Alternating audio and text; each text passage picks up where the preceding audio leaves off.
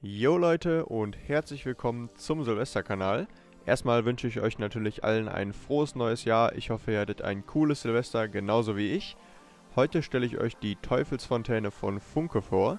Das ist eine Silbercracker-Fontäne mit roten Sternen. Die NM beträgt 100 Gramm und die Teufelsfontäne ist zum letzten Silvester, also 2018-2019, vor wenigen Wochen als Neuheit vorgestellt worden. Und dann wünsche ich euch natürlich viel Spaß bei der Zündung.